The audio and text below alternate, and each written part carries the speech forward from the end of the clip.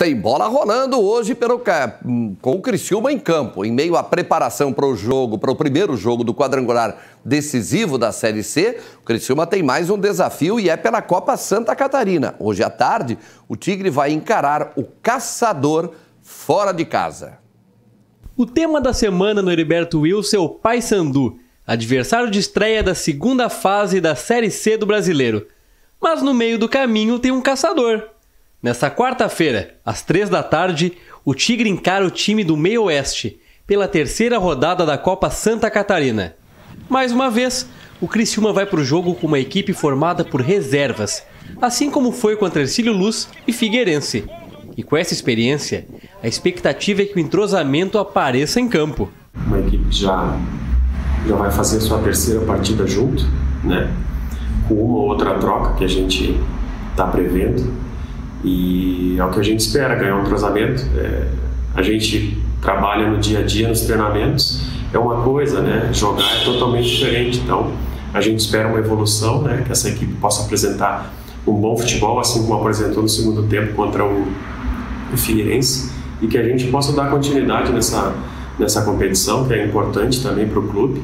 Mesmo não estando mais suspenso, Paulo Baier ficou em Criciúma com os titulares, em preparação para o jogo com o Paysandu.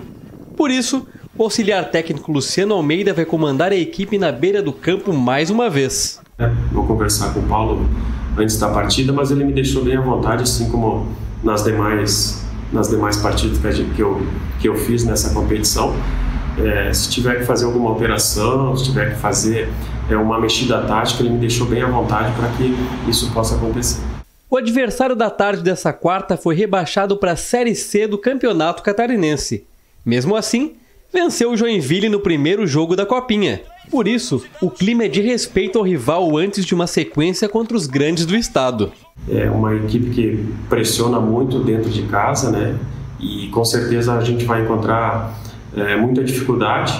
É um time que é, não vem de um, de um bom resultado na última partida e a gente tem que estar preparado para não ser surpreendido. A gente vê como um grande desafio, principalmente para esses atletas que não vêm jogando com uma certa frequência, para esses meninos da base que, que estão aí, que possam vir ganhar uma oportunidade. Então a gente tem que fazer jogo a jogo, né? E se preocupar primeiro com, com a caçadorense.